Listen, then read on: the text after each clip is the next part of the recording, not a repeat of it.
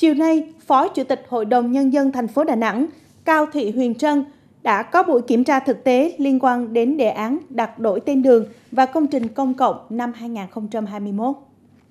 Theo đề án năm 2021, thì đề xuất có 99 tuyến đường và công trình đặt đổi tên, trong đó có hai tuyến đường đặt tiếp, 22 tuyến đường đặt tên theo danh nhân, 63 tuyến đường đặt tên theo xứ đất, làng xóm, địa danh xưa, có 13 tuyến đường đề nghị đổi tên và một công trình công cộng đề nghị đặt tên là cầu vào khu đảo nổi nối từ đường Thăng Long vào, đề nghị lấy tên là cầu An Hòa.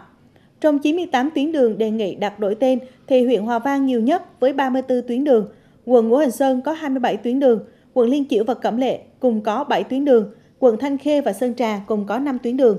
Phó Chủ tịch Hội đồng Nhân dân thành phố Cao Thị Huyền Trân và lãnh đạo các đơn vị liên quan đã tiến hành kiểm tra thực tế một số khu vực và các tuyến đường tại các quận Sơn Trà, Ngũ Hành Sơn, Cẩm Lệ và Thanh Khê, bao gồm hiện trạng hạ tầng các tuyến đường, chiều dài tuyến đường, khu dân cư dọc tuyến, qua đó ghi nhận các vướng mắc từ thực tế để báo cáo Hội đồng Nhân dân thành phố tại kỳ họp thời gian tới.